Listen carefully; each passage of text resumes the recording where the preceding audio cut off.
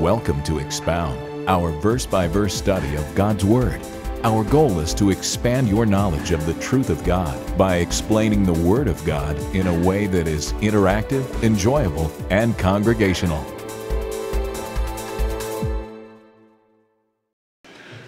So, at the risk of sounding a bit mushy, let me just say I love you.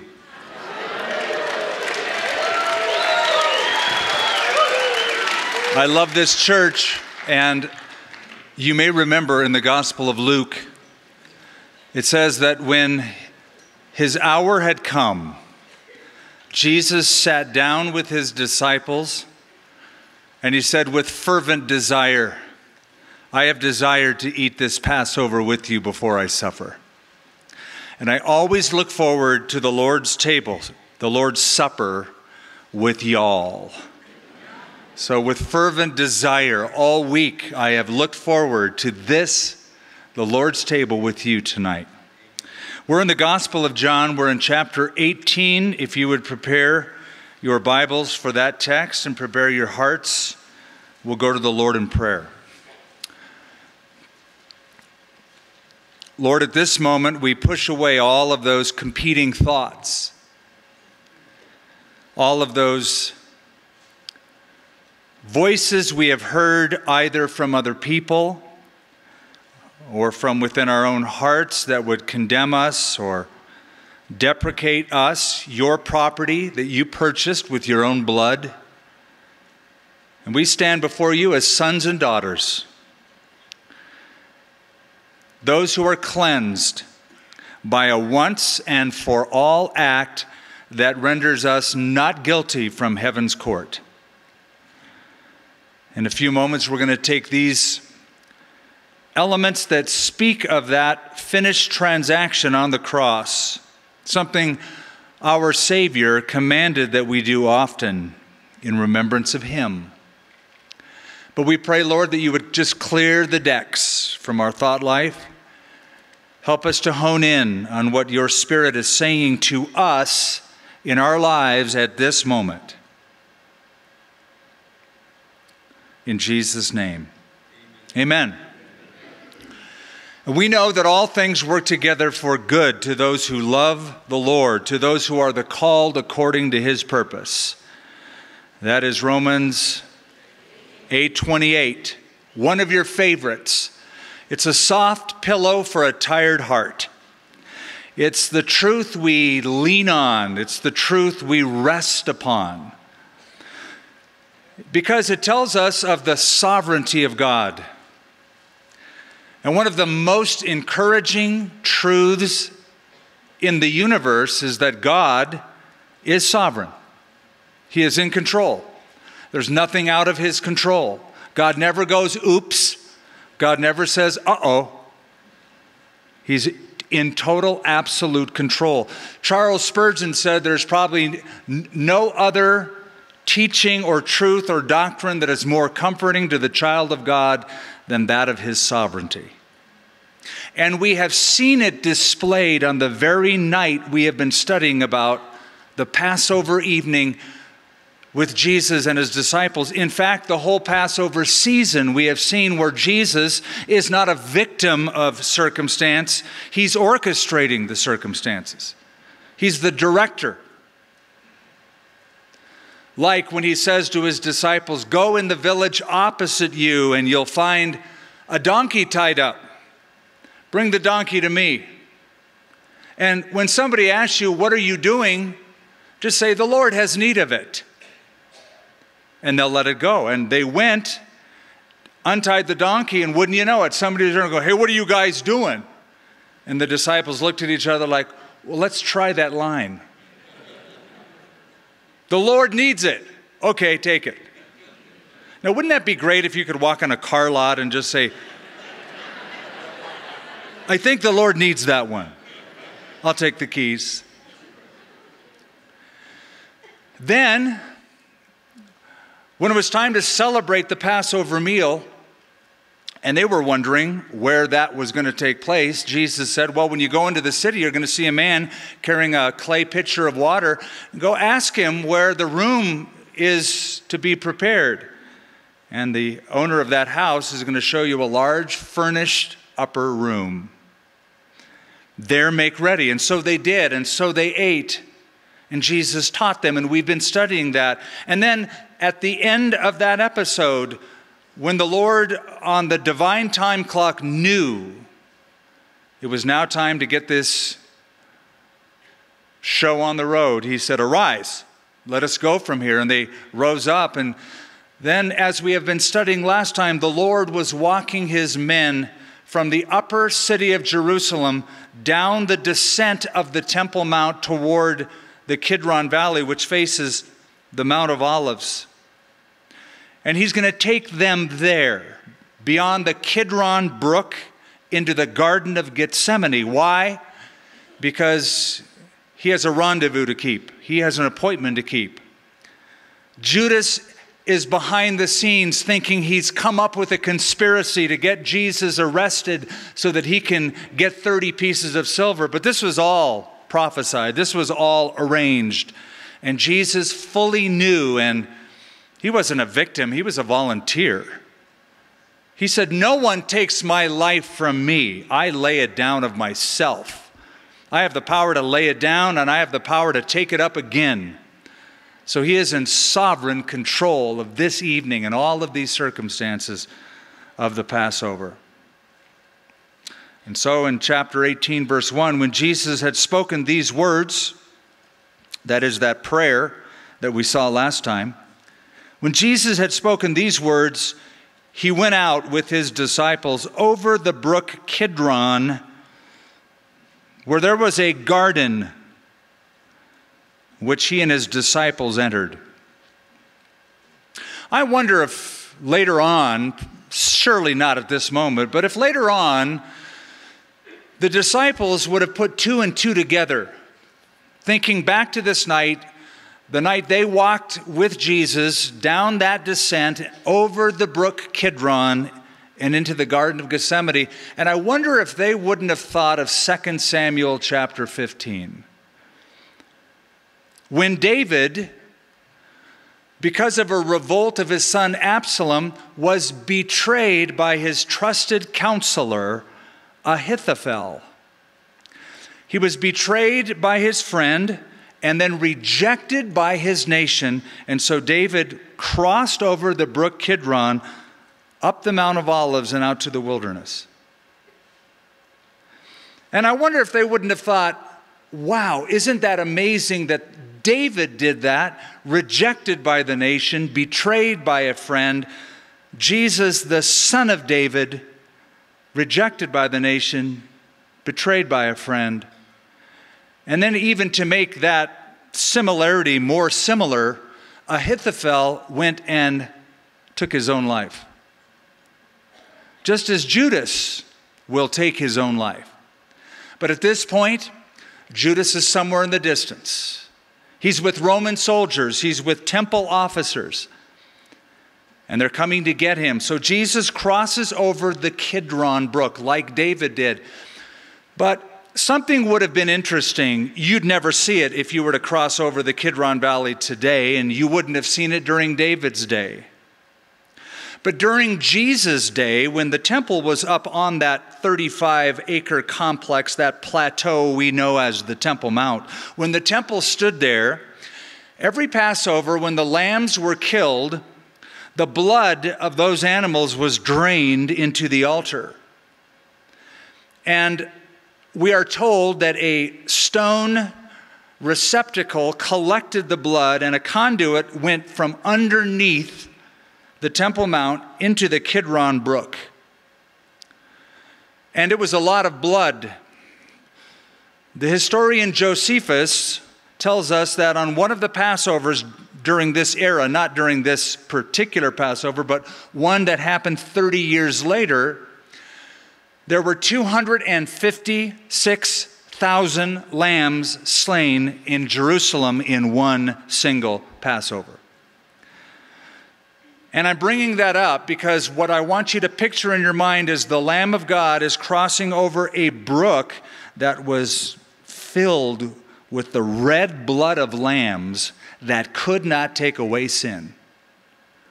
And he saw that. And he knew what that meant, and he knew what he had come to fulfill. Like Hebrews said, the blood of those lambs could never take away sin. But the Lamb of God would and did. And he crossed over that with the, the disciples. They didn't pick up on that at the moment, they're just following Jesus. And they come to a garden. A garden we know as Gethsemane, it means the olive press. It was, after all, the Mount of Olives. And on the Mount of Olives was an olive farm. There were several of them, and there were presses because olive oil was, a, was like um, gasoline is today. It was, it was for fuel. Uh, it fueled oil lamps. It was used for anointing. It was used in cooking. The country lived off of it. And so, there on that spot was a press where olives were crushed to get its fruit out, the olive oil. So Jesus goes to that place of crushing, the olive press, Gethsemane, as the sin of the world is being placed upon him, and he voluntarily accepts the cup, as he will say, if I get to it. I will drink this cup that the Father has given me. It's interesting that, and I think John brings it up for a reason, that there was a garden. Did you know that life began in a garden? The Garden of Eden. But did you know that eternal life began in another garden, Gethsemane? when Jesus said, Not my will, but your will be done. That's when it all began. Life began in a garden, new life began in the Garden of Gethsemane. In the Garden of Eden, Adam sinned. In the Garden of Gethsemane, the last Adam, that's what Paul calls him, the second Adam, the last Adam, Jesus, conquered sin, overcame it by the willingness to go to the cross. In the Garden of Eden, Adam hid from God in the Garden of Gethsemane, Jesus presents himself to the Father. And life, having begun in a garden, will also end in a garden. In the New Jerusalem, there is a garden like environment with the tree of life. That's for another study we don't have time to even remark. And Judas, verse 2, who betrayed him also knew the place, for Jesus often met there with his disciples. Then Judas, having received a detachment of troops and officers from the chief priests and the Pharisees, came there with lanterns and torches and weapons. The Garden of Gethsemane was Jesus' spot to hang out. It was quiet. It was one of his favorite places to go with his disciples. He did it a lot. Luke tells us that during that week of Passover, he was teaching in the temple and healing, and then he would go away and he would sleep on the Mount of Olives. It was in the Garden of Gethsemane that he was camping out. He loved to go there. And because it is one of Jesus' favorite places, it has always been one of mine. And because of that, Almost every time I've gone to Jerusalem, I like to take a walk from the upper city through the Kidron Valley into the Garden of Gethsemane, just to be reminiscent of all of this that we are reading. Now, Judas comes with a lot of people, many troops. We are told he received a detachment of troops and officers from the chief priests and the Pharisees. Matthew just says a great multitude. It was a cohort. A cohort is a tenth of a legion, or that would be 600 men. Now, we don't know if this was a representative group of the cohort, but evidently it was a large group. And why would they bring a large group to arrest somebody like Jesus? The Lamb. So gentle. Well, they had tried to arrest him while he was in the temple, if you remember, a couple of times, and they were unable to do it. He just vanished out of their sight. Not only that, but Jesus, well, he stirred things up twice in his ministry. Once at the very beginning, once at the very end. He walks into the temple and overturned the tables by himself. ran people out by himself, and that authority they saw and they knew, and so they thought, let's bring back up. As if that would do any good. And so they brought back up, and they probably brought so many troops because it's not that they were afraid that Jesus was going to pounce on them, but there could be a revolt you may remember that one of the biggest fears of the leaders was that if they were trying to arrest Jesus in a public place, that it would cause a rebellion in the Temple Mount. So, to protect from that, they, they brought back up. Jesus, therefore, now look how this is worded Jesus, therefore, knowing all things that would come upon him, he went forward and said to them, whom are you seeking? They answered, Jesus of Nazareth. He said to them, I am he. Are you looking at your Bible? Can you see that sentence? Is he italicized? It's because it's not there in the original. Whom are you seeking? Jesus of Nazareth. I am. I am. The Greek construction, ego eimi. Ego eimi. If you had a Septuagint version of the book of Exodus and you were reading the spot where Moses was at the burning bush and God commissioned him to be the leader of Israel, and Moses scratched his head and said, um, What's your name? When they ask me, the children of Israel say, Who sent you? What name do I give? If you were to read that in the Greek Septuagint, God says, Ego eimi. I am who I am. Same construction. An unmistakable use by Jesus of the divine title, known by the Hebrews as the Tetragrammaton, the divine name, YH, VH, or WA, Yahweh. I am, he said. And Judas, who betrayed him, also stood with them. Now, when he said to them, I am, they drew back and fell to the ground. See, this is not a victim. This is a volunteer who is in absolute control and just by speaking a word can make people fall down, just like the Bible says he will destroy the lawless one in the end times with the breath or with his word. He'll just speak a word and it's over. So just his word commands them and they fall backwards. And he said to them, Whom are you seeking? And they said, Jesus of Nazareth. So this is take two. Jesus answered, I've told you that I am. Therefore, if you seek me, let these, the disciples, go their way, that the saying might be fulfilled, which he spoke of those whom you gave me, I have lost none. Where did he say that? In the previous prayer, in John 17. He says, Lord, all that you have given me, none of them have I lost, except for one, the son of perdition, that the scripture might be fulfilled. Later on, they remembered that by the Holy Spirit prompting John, and he wrote that down, that it might be fulfilled, which he spoke All that you gave me, I have lost none.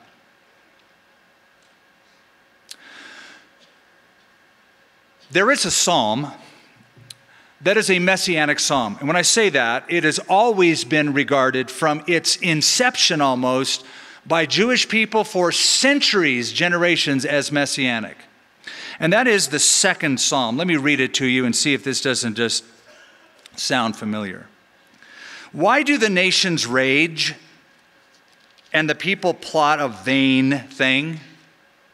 The kings of the earth set themselves, and the rulers take counsel together against the Lord and against his Christ or anointed, saying, Let us break their bonds in pieces and cast away their cords from us. Let's get rid of God's control. Let's usurp his power and authority. Let's have it our way, our agenda. We'll do our thing, we'll govern ourselves and do what we want.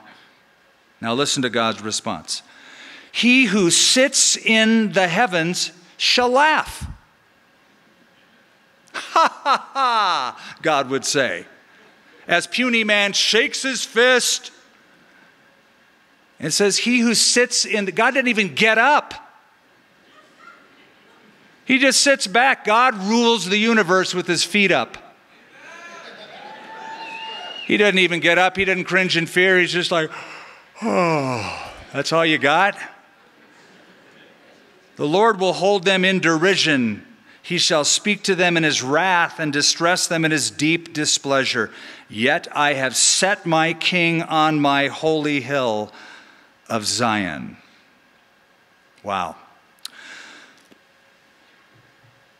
The rulers gather together against the Lord. It's, a, it's, a, it's speaking of this convocation coming together against God. It sounds like a massive international ACLU convention or something. Trying to push God out of life. God laughs. God has got it all in control. And so here, that the saying might be fulfilled. Then, verse 10. Then Simon Peter, you remember him, we love him, don't we? Simon Peter having a sword. So I don't know if he got it from one of the soldiers or he had concealed carry or what, but he's, he's got a sword. He drew it and struck the high priest's servant and cut off his right ear. The servant's ear was named, or the servant's ear, yeah, they named their ears back then. It's a weird thing. You may want to try it. The servant was named Malchus. So Jesus said to Peter, Put your sword into the sheath. Shall I not drink the cup which my Father has given me? We love Peter. Peter was a great fisherman, Peter was a poor swordsman. Peter wasn't precise. He wasn't aiming at his ear. Are you kidding? Peter is going ballistic. He's all ISIS on these people. He wants to cut their heads off. He's going for Malchus just like to do him under. He misses being a good fisherman, not a good swordsman, and cuts his ear off. This could have been a problem. If Jesus does not heal him, and he will, there would have been four crosses on Calvary. This is a capital offense. Jesus says, Put your sword up. Shall I not drink? See, once again, he realizes this is, this is the Father's plan. This is, a, this is sovereign will. God's sovereign will was being worked out that evening. God had a plan, and everything's going perfectly to plan. Now, yes, the soldiers have their plans, the officers have their plans, Judas has his plan. There is a conspiracy afoot. But their plan and God's plan is coming together. In fact, God is using their plan, they're like little pawns on his chessboard, simply to enact his sovereign plan. That's all that is. God's plan is that his son provide forgiveness. Now, Peter is there. Peter is the guy with the sword. Later on, bless Peter's heart. That's what they say down south when something's wrong with somebody. Bless his heart. Later on, Peter will get this in his head. He'll get this in his heart. He didn't get it now. He's got a sword. Pretty soon, the sword will be down, the Bible will be open. And Peter will say to the people of this city in Acts chapter 3, speaking of Jesus, Him, Jesus, Him being delivered by the determined purpose and foreknowledge of God, you have taken by wicked hands, crucified, and put to death. You killed him, you put him to death, you are responsible for your choices and your actions, but this is all part of God's divine sovereign plan. The foreknowledge of God, the purpose of God was enacted. Finally, Peter will, it'll click for him. But at this point, Peter's hurting inside. He's hurting inside. This is a reaction to something Jesus told him. Remember, Jesus said, Peter, I know you love me, or you, you think you love me more than you really do, and you swear that you'll never deny me and you'll always follow me. You remember, Peter said, You know, these guys are flakes, Jesus, but, but you can count on me. I'm with you to the end. I'll never deny you, I'll always be with you. Well, you're going to deny me three times, actually, tonight. And he denied that, that he denied his denial. No, I'll, go to death with you. Even if all others do it, I won't. He is trying to prove Jesus wrong by taking out the sword. I am here for you. I am going to take over. I'm going to muster my way through this, hack my way through this. How often we're like Peter, trying to hack our way through lives, trying to just get stuff done with an axe instead of letting the Lord who tells us, I got this covered, I got it handled, let him show himself. Then, verse 12, the detachment of troops and the captain and the officers of the Jews arrested Jesus and bound him and led him away to Annas first, for he was the father in law of Caiaphas, who was the high priest that year. Now it was Caiaphas who advised the Jews that it was expedient that one man should die for the people. And Simon Peter followed Jesus, and so did another disciple. This we think is John, the author of this book. Now that disciple was known to the high priest and went with Jesus into the courtyard of the high priest, but Peter stood at the door outside. Then the other disciple, who was known to the high priest, went out and spoke to her, who kept the door and brought Peter in. Then the servant girl who kept the door said to Peter, You are not also one of this man's disciples, are you? And he said, I am not. Now, let me try to do this quickly. There was not one trial by Jesus. There, he's arrested now, and he's going to go to trial. But there's not one trial. There are, in fact, six separate trials. Mark them. The first one is before Annas, the previous high priest, still wielding great influence in the nation. The second trial is before the actual high priest, the one in power, the son in law of, of Annas, named Caiaphas. So he goes to Annas and then Caiaphas, and those are like pre trials. They're trials, but pre trials. The third trial is with the whole ruling body of the Jews, the Sanhedrin, very, very early in the morning. So there are three trials that are religious trials. The next three are civic trials. And, and the first one, or the fourth one in the list of six, he goes before Pontius Pilate. Pontius Pilate sends him to Herod Antipas. Herod sends him back to Pilate. Pilate renders, renders the final verdict. So, six trials altogether. Now, first he goes to Annas, not to the high priest. The high priest is named Caiaphas. Annas is not the high priest, he is the father in law of the high priest. But to complicate things further, Annas used to be the high priest. He was the high priest put into power under a provincial ruler named Quirinius. Do you know that name? You do know that name. Every Christmas, you read that name. Luke chapter 2 Caesar Augustus gave a decree the whole world should be registered. This decree was given while Quirinius was governing Syria. That Quirinius allowed Annas to be the high priest. But around 15 AD, he was deposed by another provincial ruler named Valerius Gratus, the predecessor of Pontius Pilate. He pulled him out and put in Caiaphas, his son in law. Now, why is that important? Because high priests don't have terms. They don't get voted in for four years or eight years and then you get a new one. They're a high priest for life. But the Romans are in charge, so they pull out the high priest, put in a new one that they can control a little bit easier. But Annas still, still wields power and influence. And the reason they went to Annas first, let me tell you why I think it is. Annas controlled the business of the temple.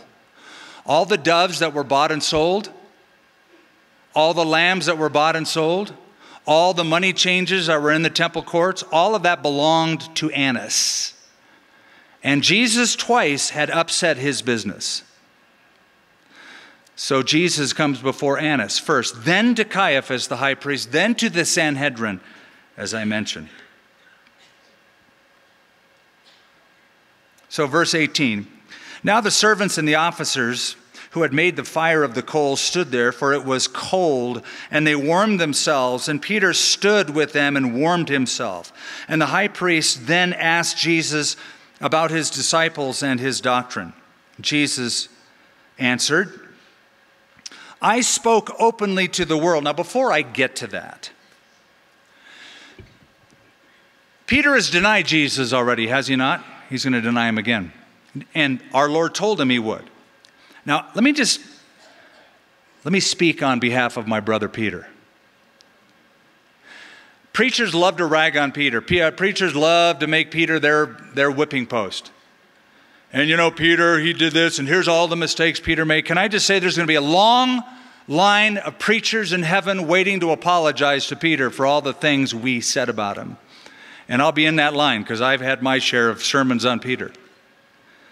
And yes, he denied the Lord, but listen, he's in the courtyard.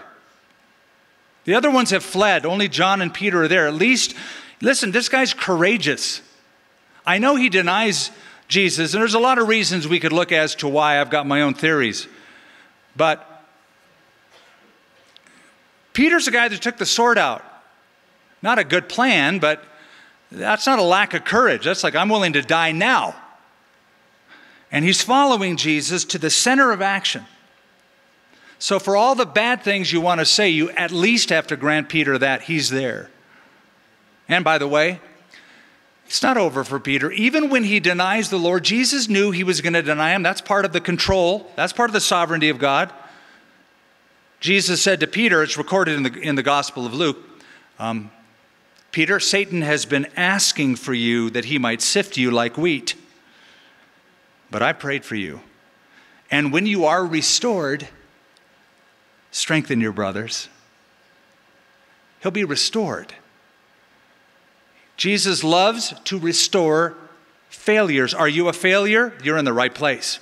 You're about to take the right elements. You're about to come clean and be covered.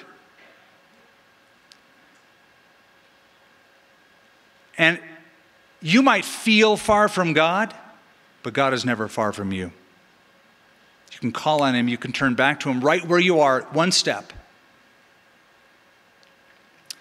Well, the high priest, verse 19, asked Jesus about his disciples and his doctrine. Now, look at what Jesus says. It's very interesting. I spoke openly to the world. I always taught in the synagogues and in the temple where the Jews always meet. And in secret I have said nothing. Why do you ask me? Ask those who heard me. What I said to them, indeed, they know what I said. And when he had said these things, one of the officers who stood by struck Jesus with the palm of his hand, saying, Do you answer the high priest like that? Jesus answered him, If I have spoken evil, bear witness of the evil. But if well, why do you strike me? Then Annas sent him bound to Caiaphas, the high priest. Our Lord Jesus, knowing all things, also knew that in that trial before Annas and the proceedings that will follow, that this was an illegal trial. He knew this was not fair. He knew that this was not according to their law. According to Jewish law, you can never have um, a court proceeding on a capital offense uh, the night during or before a festival. This is Passover. In fact, for that matter, you can't have a court at night at all. You have to wait for the next morning. Also, the high priest can never directly question the defendant because they had laws protecting against self incrimination. It was a prelude to our Fifth Amendment. You know, when somebody says, I plead the Fifth Amendment, I will not answer on grounds that it might incriminate me. That's was, that was part of Jewish law as well. So all of this was rigged, and Jesus knew it. So what he's saying is call a witness. You need to have witnesses here. You can't directly question me according to your law. You always have to have witnesses. Call your witness. I've said nothing in secret. Well, they reacted It was an ad hominem attack. They slapped him, struck him. Now, Simon Peter, verse 25, stood and warmed himself. Therefore, they said to him, You are not also one of his disciples, are you? They asked him that before. He denied it and said, I am not. One of the servants of the high priest, a relative of him whose ear Peter cut off, said, Didn't I see you in the garden with him? Peter then denied again, and immediately a rooster crowed. Let me plant something in your mind.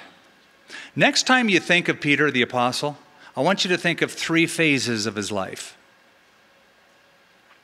Three phases of his ministry. How's that?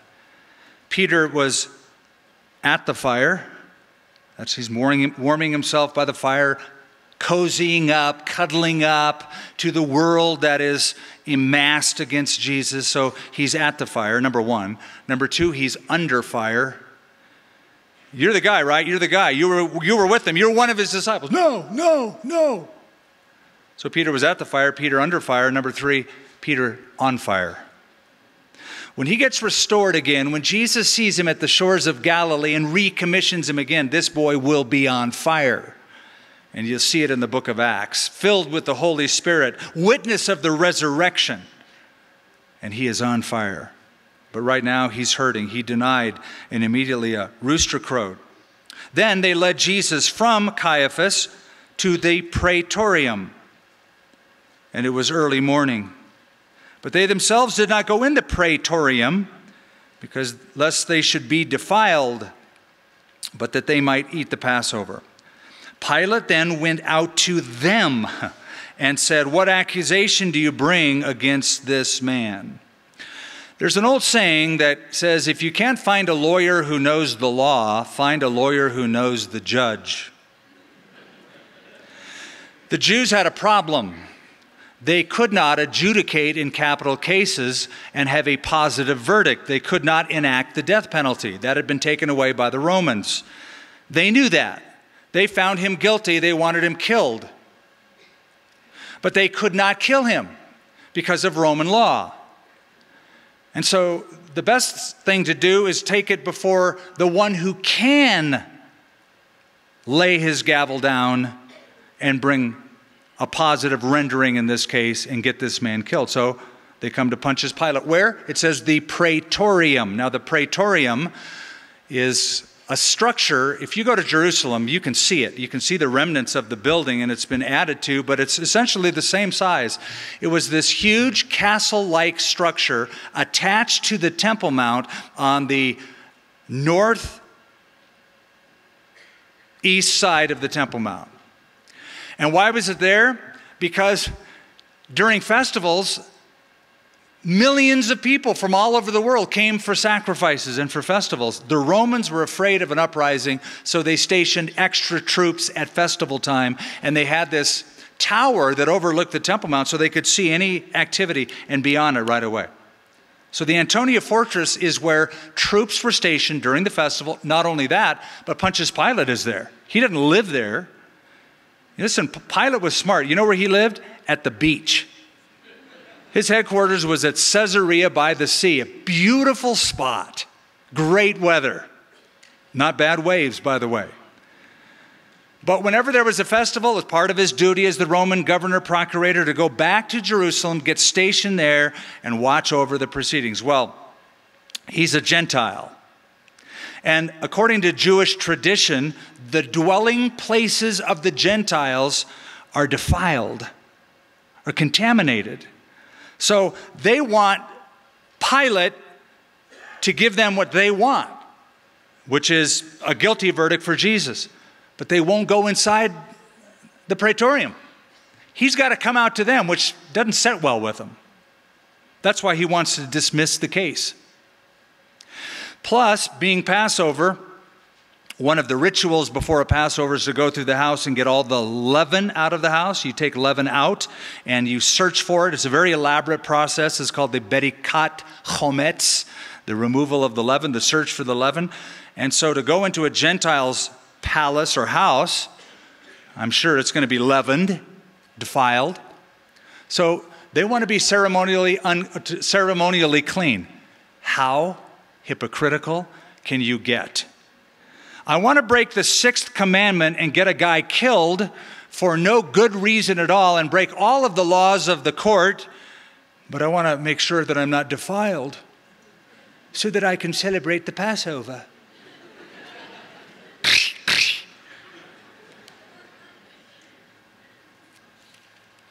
so Pilate comes out. Pilate went over and said to them, What accusation do you bring against this man? They answered and said to him, If he were not an evildoer, we would not have delivered him up to you. Then Pilate said to them, You take him. He wants to dismiss it. He didn't want to have anything to do with the religious squabble. You take him. And judge him according to your law. Therefore, the Jews said to him, It's not lawful for us to put anyone to death. Ah, now they're, they're showing their hand. They want him killed. We've already taken him to our court. We've already given him the sentence guilty. We just want you to run through the paperwork, get it done. Now, notice what it says that the saying of Jesus might be fulfilled, which he spoke, signifying by what death he would die. Remember, he said, If I be lifted up, I'll draw men to myself? Jesus said that. You know what he was speaking of, right? The cross the lifting up of the cross, not lifting somebody up in worship. Meant being lifted up on a Roman cross and being stapled to it. Now, why is this significant? Because Jesus predicted he would die by Gentile, not Jewish means, by a cross. No, Jews didn't crucify people. How did they enact capital punishment? Stoning. They would stone a person to death. But to signify by what death he would die, Jesus already announced, I'm going to be killed on a cross all of this is happening. Again, all under God's control for you. This is God loving you, controlling the outcome of this to pay for your sin and for mine. Then Pilate entered the praetorium again and called Jesus and said to him, Are you the king of the Jews? Jesus answered and said to him, or Jesus answered him, Are you speaking for yourself about this, or did others tell you this concerning me? Very interesting response. Are you the king? Now, Jesus turns the tables and asks him a question. Why? He's after his heart. He's after even this pagan, Roman, calloused, and history paints him as a very callous, cynical, um, truculent individual. You know, just, are you king of the Jews? Are you asking this as a Roman? Or are you asking this out of rumor? Or are you asking this because you realize that I might be? That's the idea of the question back to him. Pilate answered, Am I a Jew? Your own nation and the chief priests have delivered you to me. What have you done? Jesus answered, My kingdom is not of this world. If my kingdom were of this world, my servants would fight, so that I should not be delivered to the Jews, but now my kingdom is not from here. Pilate therefore said to him, Are you a king then? Jesus answered, You say rightly that I am a king. For this cause I was born, and for this cause I have come into the world, that I should bear witness to the truth. Everyone who is of the truth hears my voice. Our Lord is saying, I'm a king, but not a political king. I'm a king, but not a military king. I am a spiritual king, and I will be the eventual king of all kings. I'll rule this world one day. But until then, it's a spiritual kingdom. My kingdom is not of this world. He's the king today. He is a king of sorts. Is he the king of your heart? Is he the king of your life? He wants to sit on the throne of your life as king, as Lord. Now, eventually, he is going to take over the world, the political world, the military world. It's all going to be under his jurisdiction one day. One of the best verses, one of the best verses in Revelation, in fact, all of the New Testament, is Revelation 11 15, when the announcement comes The kingdoms of this world have become the, become the kingdoms of our Lord and of his Christ, and he will reign forever. That day is coming, Pilate. But until then, he is a spiritual king. So now Pilate's in a quandary because Jesus said this. He said, Okay, I, my kingdom is not of this world. You know, if, if he would have just said, Yes, I am the king of the Jews, then Pilate could have got him for insurrection. But what do you do with the spiritual king? He's in a quandary going, Oh man, what do I do with this? This is a hard trial, man. Now, to make matters worse, his wife had a dream. By the way, just a few words about Pilate. You know, Pilate was not a Roman. He works for the Roman government. He's a Roman procurator, governor, prefect, provincial ruler, but he was not a Roman. You know, he was Spanish. He was born in Seville, Spain. Uh, he joined the Roman legions as a child. Um, he was not a good leader, he was really a flunky the only reason he got the job here in Judea is he married the granddaughter of Caesar Augustus. Her name was Claudia Procula. And one evening, Claudia Procula got a weird dream. And Claudia sent a note to her husband uh, Dude, leave this guy alone. I had a nasty dream about him. Just, I don't know what's going on, but hands off he should have listened to his wife. A lot of men should, but he didn't. But please, before we finish the chapter, notice the wording of Jesus in verse 37.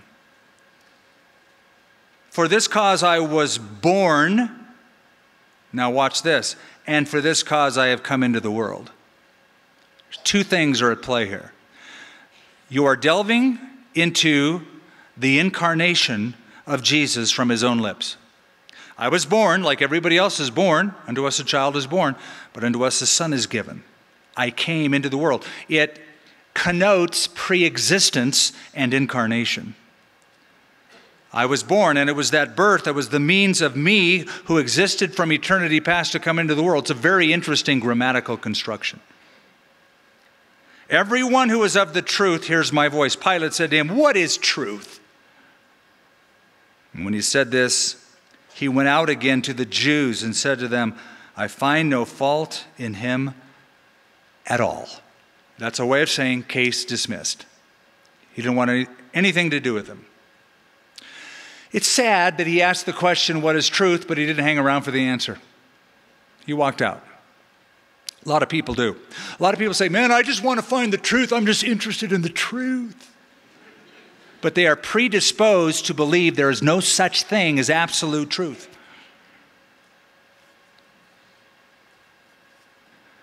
This is the cry of postmodern philosophy. What is truth? Nobody can know absolute truth. There is no such thing. Your truth is different than my truth, and it's on a sliding scale. So, what is truth? Boy, that is, that's a typical politician, too, by the way. What is truth? Because to people in offices like this, truth is a sliding scale determined by spin. You can spin anything to make it say anything. What is truth? Verse 39, let's finish this up. Take the Lord's Supper. But you have a custom, he goes back, and says to them, But you have a custom that I should release to you someone at the Passover. Do you therefore want me to release to you the king of the Jews? They all cried again, saying, Not this man, but Barabbas. Now, Barabbas was a robber. When it says robber, does not mean a petty thief. Doesn't mean he walked into 7 Eleven, stole a pack of gum and cigarettes, and he was out. This guy was a vile criminal. This guy deserved the death penalty. He was an insurrectionist. Barabbas or Jesus? not this man, but Barabbas. Interesting note. Barabbas, you know what Barabbas means? Bar, is son in Hebrew. Abba, anybody know what Abba means? Father or daddy, Abba. You'll see little children in Israel. Abba, Abba means dad or father, daddy. Bar Abba or Barabbas means son of a father. That's all it means, son of a father. According to Origen, the Alexandrian Egyptian scholar of the second and third century, the first name of Barabbas was Jesus. Common name, Yeshua. So the choice is between Jesus Barabbas and Jesus the Messiah. Do you want Jesus, the son of a father, or do you want Jesus, the son of the father? That was their choice. And they chose for not Jesus, the son of the father. And that is what happens every day across this planet. People make the choice for anyone but Jesus, the son of the father. And they did. But he's not a victim, he's a volunteer. He's not a victim of circumstance. These circumstances aren't just happening around him, he is controlling them. I want to close with this, and then we'll have the communion board come up. We'll pass this out. This is a young boy's understanding of biblical truth. He writes, he said, After the Old Testament came the New Testament. Jesus is the star of the new. He was born in Bethlehem in a barn. I wish I had been born in a barn too, because my mom is always saying to me, Close the door. Where were you born? In a barn? Boy, would it be nice to say, As a matter of fact, I was. During his life, Jesus had many arguments with sinners like the Pharisees and the Democrats.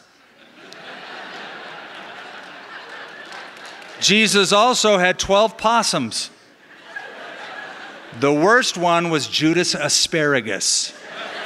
Judas was so bad that they named a terrible vegetable after him. But Jesus was a great man. He healed many leopards and even preached to some Germans on the Mount. But all those guys put Jesus on trial before Pontius the Pilate.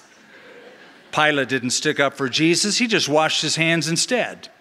Anyways, Jesus died for our sins, then came back to life again. He went up to heaven, but he'll be back at the end of the aluminum. His return is foretold in the book of Revolution. I'll tell you, this kid got a lot of stuff wrong, but he got a couple things right. Jesus died for our sins and is coming back to rule and to reign forever. The issue becomes is he ruling in your heart right now? As I pray, I'm going to ask the communion uh, board, uh, our leaders of the church, to come forward and we'll pass these out. Father, thank you for the simple truth that Jesus died for sin, rose again from the grave as he predicted and as the scriptures predict.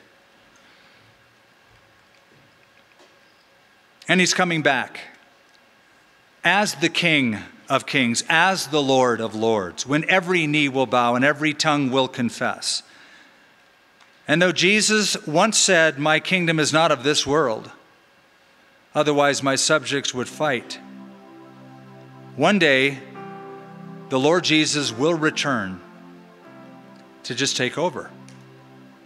Until that time, Lord, would you reign? Would you rule in our families, in our place of business, in our personal thought life, in the decisions that we make, in our marriages, with our friends? With our neighbors. Would you reign? Would you be Lord and King? Would you rule? Thank you, Lord, for what these elements speak to us of. And we are doing it in obedience to the command of our Savior to do it often in remembrance of Him. speak life and forgiveness and love and restoration and acceptance to those of us gathered here through these elements, we ask in Jesus' name. Amen.